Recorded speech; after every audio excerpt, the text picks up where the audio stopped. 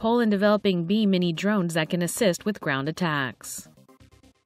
A Polish company has been developing mini drones called Bee, which can be deployed on reconnaissance missions, as well as attached to military vehicles to assist the infantry during unit attacks.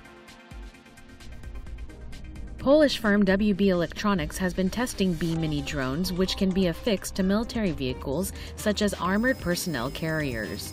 With a flight time of 30 minutes, the mini drone can be controlled with a tablet remote as far as 2 kilometers. The drone is also equipped with two built in cameras. So troops are able to monitor the target by real-time video footage fed by the drone. An independent communication system is also set up as mobile phone connections or Wi-Fi signals may not be available in battle environments. The drone is designed to act as a guided missile as video footage enables troops to lock down on a target. Designed to be used as a dense urban setting, the Bee Mini drone are now undergoing tests in different environments such as desert, jungle, and high altitudes. Your smartest, most insightful comments can win you $100 only at tomonews.net.